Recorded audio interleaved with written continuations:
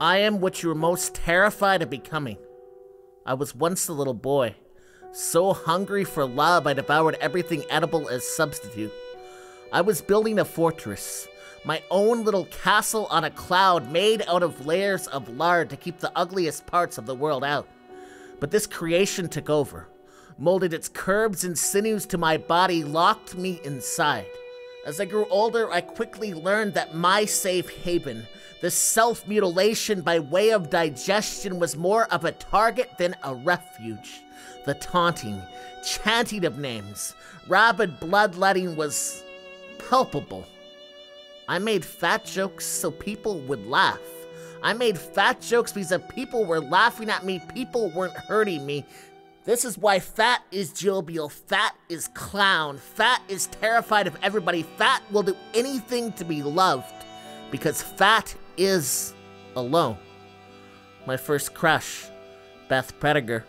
All freckles, blonde hair, sunlight turned me down flatter than a jock's six pack when I asked her to dance at grade 7 graduation said, I don't, don't want to be seen with you. Stay away. Take the loneliness away. Burn this body down, melt my fat away, flames extinguished by the waterworks. Now, as a man who has struggled his whole life to accept himself, I have a message for all those who have judged and tormented me, for all those in the future who will do so. I no longer ask for your acceptance. I will no longer make a mockery of my identity in a desperate attempt to gain your love. During those long, painful years of self discovery, I have known love from far better people than you could ever hope to be. You are not worth my time. I do not wish to know you.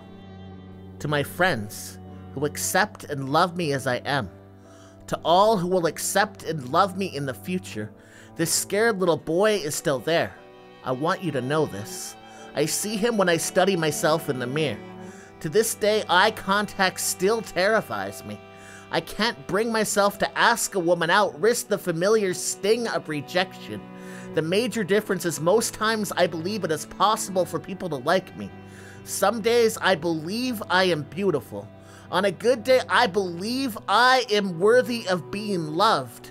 At my best, I even love myself.